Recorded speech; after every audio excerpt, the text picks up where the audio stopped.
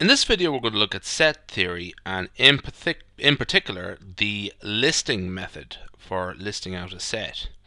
So suppose we have a set A that's defined by this rules of inclusion. This is the builder method also known as the rules, a rule of inclusion. So this is like a formal rule. This bit here.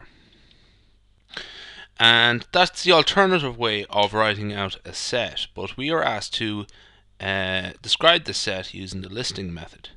So what we're going to do is for each element of n, it says here that n is an element of the po positive integer uh, set of numbers.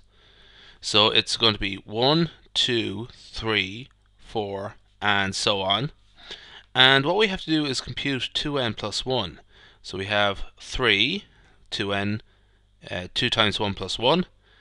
2 times 2 plus 1 is 5, 7, 9, and so on.